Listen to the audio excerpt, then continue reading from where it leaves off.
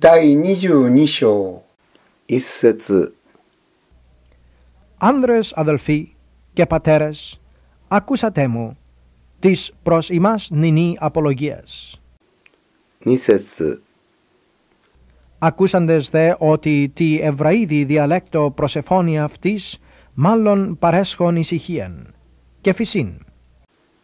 三节 Εγώ ημί ανήρ Ιουδαίος, γεγεννημένος εν ταρσό της κηλικίας, ανατεφραμένος δε εν την πόλη ταύτη, παρά τους πόδας Γαμαλιήλ, πεπαιδευμένος κατά ακρίβειαν του πατρώου νόμου, ζηλωτής υπάρχον του Θεού, καθώς πάντες ημείς εστέ σήμερον.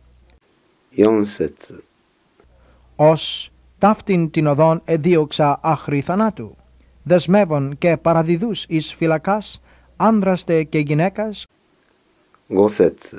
Ως και ο αρχιερεύς μαρτυρήμι και παν το πρεσβυτέριον. Παρόν και επιστολάς δεξάμενος προς τους αδελφούς εις δαμασκών επορευόμην. Άξον και τους εκείσε όντας δεδεμένους εις Ιερουσαλήμ ή να τιμωρηθώσιν. Ροξέτ. Εγένετο δέμι, πορευωμένο και εγγίζοντι τη Δαμασκό, περί μεσημβρίαν εξέφνης εκ του ουρανού, περιάστραψε φως ικανόν περί εμέ, Νανάσετ. Έπεσάτε εις το έδαφος και ήκουσα φωνής λεγούσις μη. Σαούλ, Σαούλ, τι με διώκεις; Χασέτ. Εγώ δε απεκρίθην.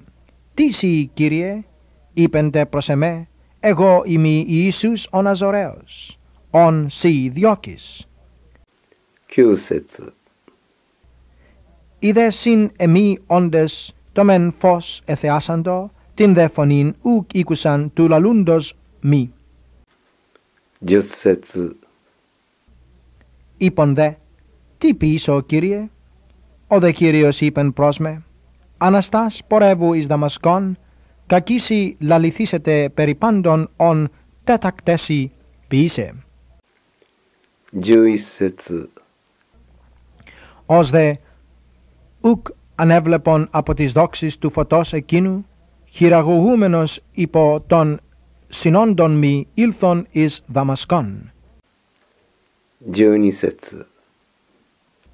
Ανανίας δέτης, ανήρ ευλαβής κατά των νόμων, μαρτυρούμενος υπό πάντων των κατοικούντων Ιουδαίων, Διοσάνσετ. Ελθόν προς εμέ και επιστάς είπεν μη. Σαούλ αδελφέ, ανάβλεψαν. Καγώ αυτή τη ώρα ανέβλεψα εις αυτόν.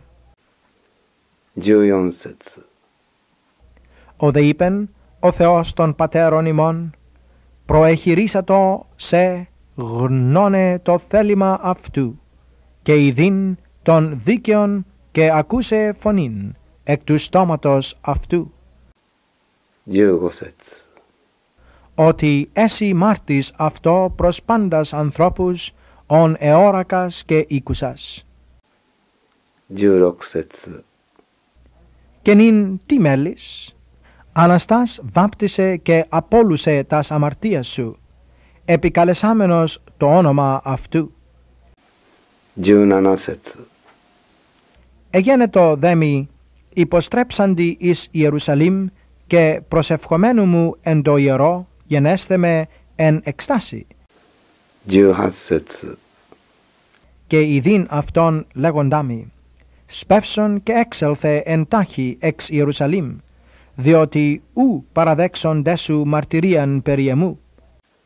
19 Καγώ είπων, Κύριε, αυτοί επίστανται ότι εγώ ήμιν φυλακίζων και δέρων κατά τας συναγωγάς τους πιστεύοντας επί σε.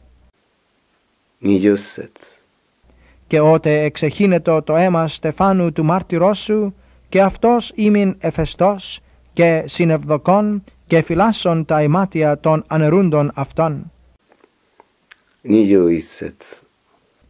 Και είπεν προς με, πορεύου, ότι εγώ εις έθνη μακράν εξαποστολώσε. Νιώσετ. Οίκον δε αυτού άχρη τούτου του λόγου, και επήραν την φωνήν αυτών λέγοντες έρε από της γης των τιούτων, ου γάρ καθήκεν αυτόν ζήν.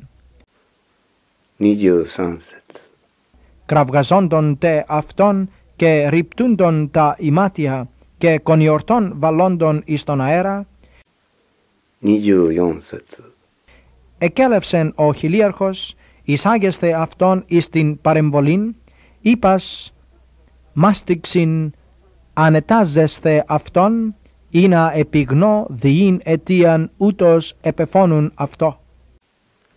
25節 Ως δε προέτειναν αυτόν της ημάσιν, είπεν προς τον εστότα εκατόνταρχον ο Παύλος.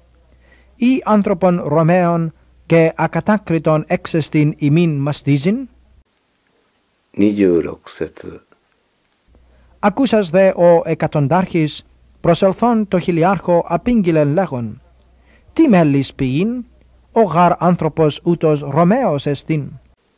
27節 Προσελθόν δε ο χιλίαρχος είπεν αυτό, λέγε μη, σύ Ρωμαίος ή, ο δε έφη, ναι.